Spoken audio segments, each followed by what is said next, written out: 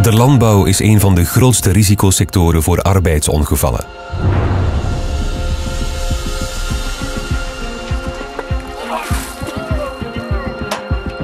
Elk jaar vallen er doden of lopen mensen blijvende letsels op.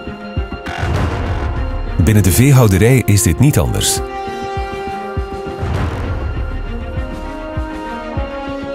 Nu, het is zo dat de veehouderij de laatste jaren op vlak van uh, bedrijfsgrootte sterk is geëvolueerd.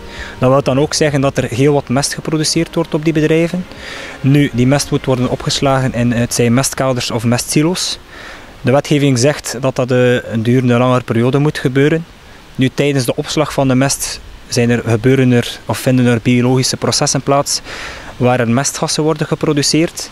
Nu, na een bepaalde duur gaan die concentraties en mestgassen vrij snel gaan stijgen.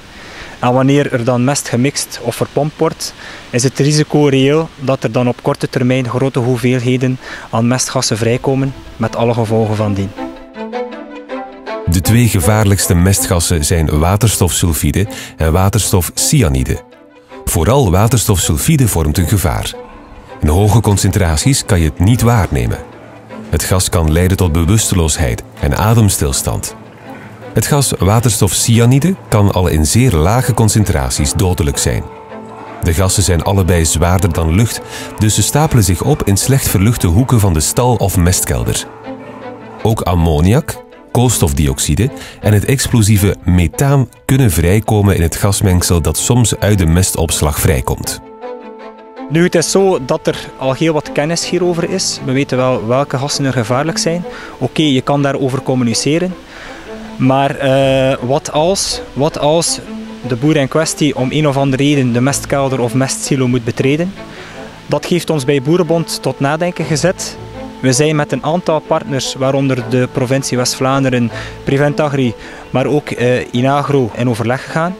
Daarnaast hebben we contact opgenomen met een aantal professionele bedrijven die zich bezighouden met uh, veiligheidsmateriaal. En uiteindelijk hebben we beslist om samen met de firma Dreger uh, twee veiligheidspakketten uit te werken.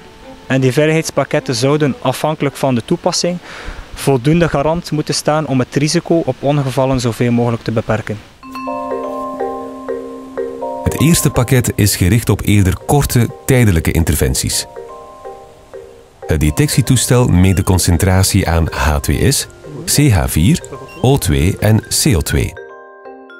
Met behulp van een pompsysteem kan men de concentratie van deze gassen meten in een mestkelder of een gesloten ruimte zonder dat men deze moet betreden. Maar ook met het toestel in de hand kunnen metingen worden uitgevoerd. Bij te hoge concentraties geeft het toestel alarm en is het echt afgeraden om deze ruimte te betreden. In het andere geval neem je steeds de meter mee in de borstzak en zorg je ervoor dat een tweede persoon van op een veilige afstand de situatie kan observeren. Maak gebruik van een levenslijn om bij problemen de persoon in nood te evacueren. Bij het afdalen in de kelder neem je ook de saver mee. Dit is een tas met een zuurstoffles en een masker. Geeft het detectietoestel een alarm, dan kan je onmiddellijk het vluchtmasker opzetten en veilig de werkplek verlaten.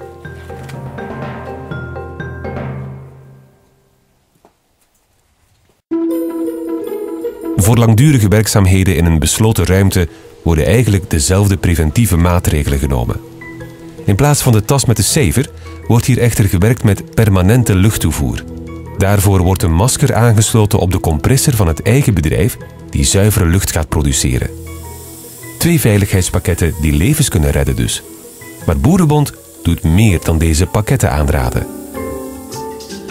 Naast het selecteren van twee veiligheidspakketten is het bij Boerenbond ook belangrijk dat we permanente opleiding aanbieden om op die manier ervoor te zorgen dat de toestellen ook daadwerkelijk op een goede en correcte manier kunnen worden gebruikt. Meer informatie over de gevaren van mestgassen vind je op www.boerenbond.be/mestgassen.